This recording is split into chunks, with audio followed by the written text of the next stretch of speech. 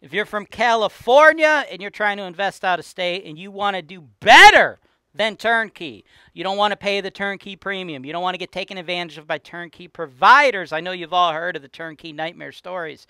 You have come to the right place because that is what I help you do. Let's go.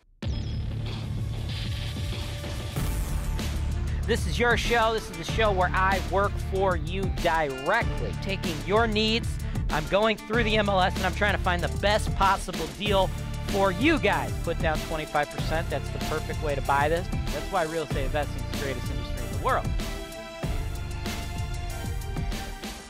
Welcome to the show, folks. James Wise. Today's show is from a man, Butch. Butch from California. California, y'all got issues. Am I right? Landlord tenant policies are insane. Rent controls coming in. Taxes are doubling. Hell, you guys are even being taxed now for leaving your houses vacant. And I'm sure you're leaving them vacant because it's been illegal to evict your tenants in parts of California for over three years. Jesus. Right? So you're trying to get away from all that. And not to mention how incredibly expensive the housing prices are, right? Leaving California is a trending hashtag. The California Exodus the great California exodus is a real thing, right? Now, I don't help people physically move out of California. That's not my thing, but I help them move their money out. And I'm helping you today, Butch. And the property I got is only going to require 23000 and I'm going to go over the market. And don't worry, my team will handle all the on the ground work for you. And you're going to get me working on your behalf. I don't own the property. I go to the properties and I represent you and I help you get the best possible deal, give you the information you need. Unlike a turnkey provider who owns the asset and every dollar they make is one that you lose, I am on your team. So, folks, before I get into this deal for Butch, know a couple things. One, if you want a deal just like it, you want to work with me like Butch is doing, below the video, click the notes, schedule a free call at my team. Two, you can't buy this property, people. I sent this to Butch privately months ago. I released them on Holton Wise TV publicly after the fact so we could all learn and hang out and have a good time, right? So uh, don't go nowhere. You know, just just chill. We're gonna go a quick break and, uh, then we're gonna get into it. If you got pee, like now'd probably be a good time to pee. But hey, dude, this is this is you know the video's on your phone. Like you, you could pause it at any time. I mean, you could take it into the bathroom with you. It's literally on your phone. So you know, I don't think you need to pause it, but you know, if you gotta do it, you gotta do it, man. Let's do this.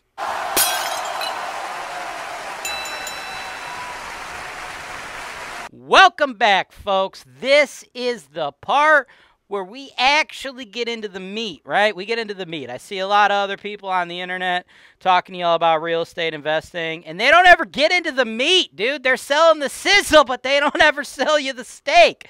They don't ever actually talk about the deals. They just give you all this like Tony Robbins, like rah, rah, rah crap. We ain't about the rah, rah, rah crap here. We're actually about doing real deals. Real deals like this one, okay? This deal, 2224 East 31st, Lorain, Ohio, priced at 87,500. All right, this one. This is a deal, folks. Now, we only have one photo. And in addition to that, we got a little bit of limited info, but that's okay. I'm going to walk you through that, right? Reason we only have one photo is because it's tenant occupied. That is normal, folks. It is normal for people selling rental properties not to bother the tenants go into their units. Don't worry. They're already living there. We're going to do more due diligence after this video. We're going to get the property inspected, right? You're doing offers contingent on inspections and appraisals, folks. You're not just blindly throwing stuff out there. That would be crazy.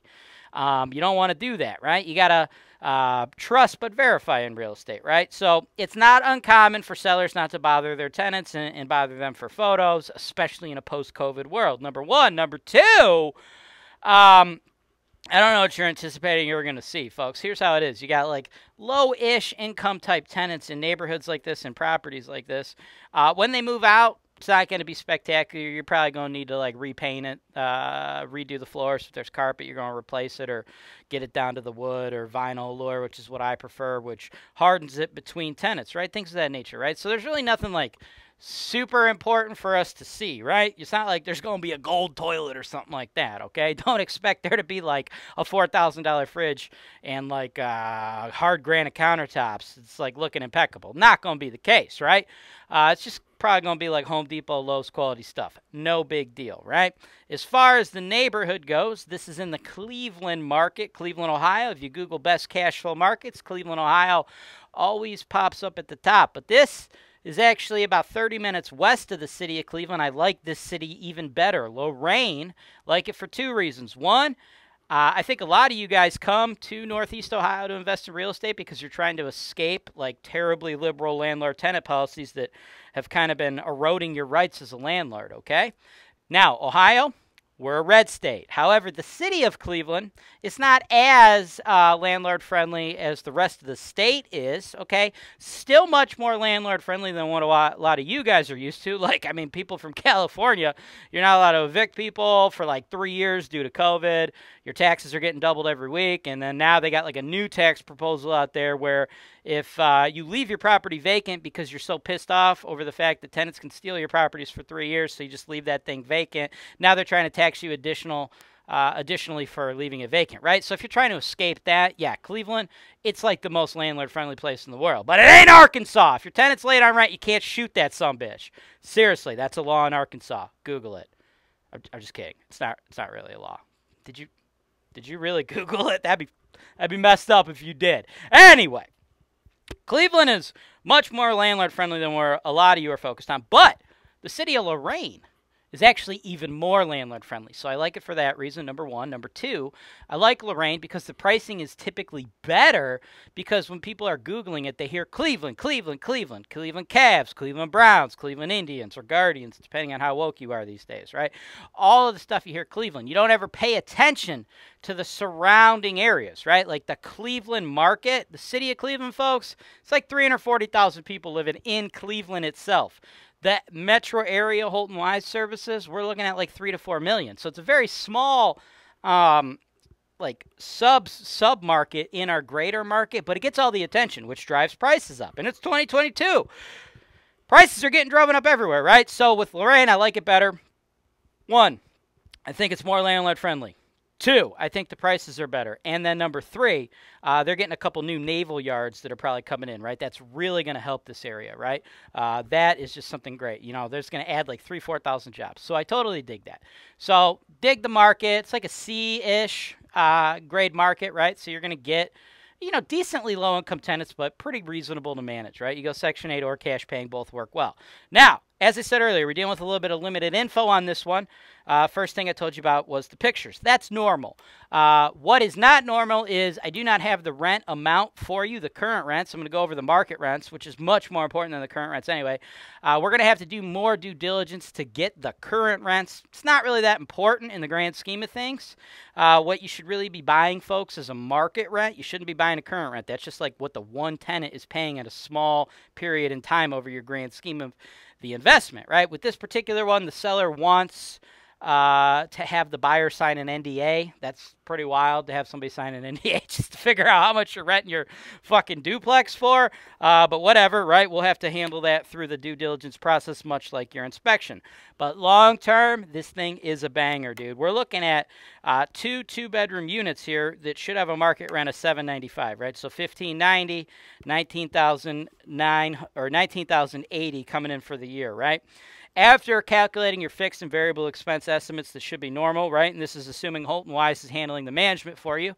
Have sold $200 million worth of this stuff, folks. I have thousands of tenants. I've done this thousands of times. We know what we're doing.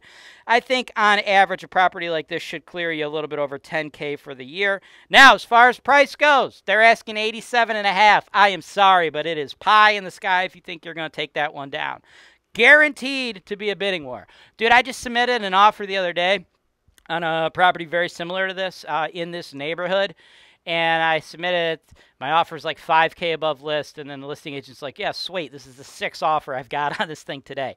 Very much anticipate the same thing happening here, right? So I believe you should come in heavy 95K. You're right. You got to come in heavy to try to lock this one up. We may get lucky and be able to beat them down a little bit post inspection. There's always something they never disclose on the disclosures that we find in the inspection, and we could beat them up a little bit. Uh, but there's going to be people fighting over this one. The numbers are just freaking amazing, right? So 95k, uh, you only got to put down 23,750. The bank kicks in the rest, right? That is another reason you should be investing in real estate, man. F Bitcoin, F NFTs, F freaking investing in your girlfriend's Etsy shop, people. Real estate allows you to utilize other people's money. You can't get somebody to loan you $71,000 over 30 years to start a freaking Etsy shop selling dream catchers. That'd be insane. But you can do it with real estate, right? Which should mean this will probably pencil out about a 27% return on your cash, folks. Let's do the dang thing. Let me know. Thanks for watching. Subscribe to Holton Wise TV for more financial information, education, and entertainment.